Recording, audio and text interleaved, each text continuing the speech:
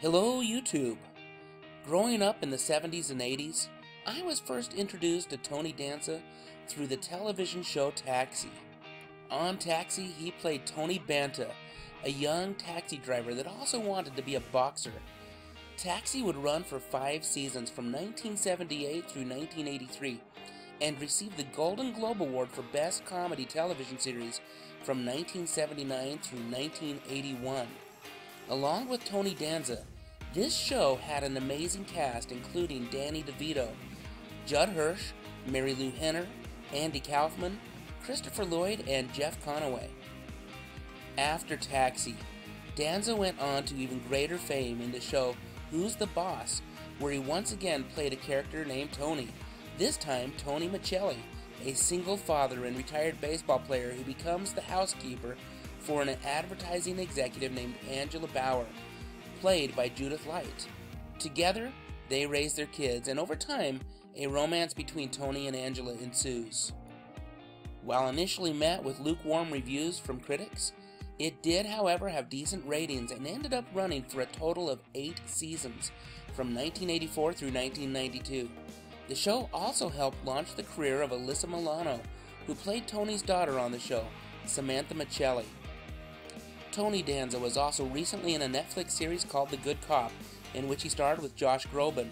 And here's a bit of trivia for you. The Good Cop marked the sixth time that Tony Danza played a character named Tony. On the show, he plays Tony Caruso Sr., a disgraced former NYPD officer who lives with his son, who also happens to be an NYPD officer. Getting back to Who's the Boss, Alyssa Milano was just 10 years old when she auditioned for the role that would be a springboard for an acting career that has lasted for more than 35 years. I think that's pretty impressive. In the 80s, this show was part of my Tuesday evening viewing, along with Growing Pains, which followed it early on, and then later on Roseanne.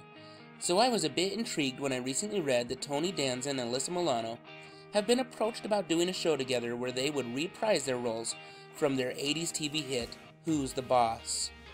The show would pick up 30 years later, and Tony would now be living with his daughter, who is now a single mother, living in the house that she was raised in.